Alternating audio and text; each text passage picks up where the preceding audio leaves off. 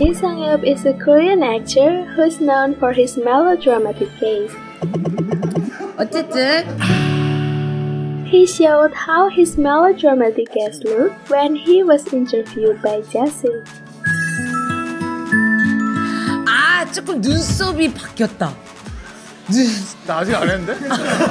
안 한 거야? 아직 안 했는데? And in this ongoing drama, Eve he showed his famous gaze when he was talking to Seo Ye Ji. Released for the fourth episode, the behind scenes are not much different. He really gets his emotional first, then shows off his superb acting. He became a totally different person.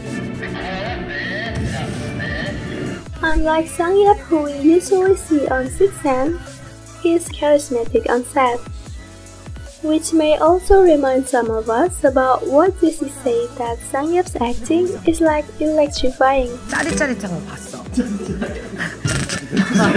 아, 짜릿짜릿.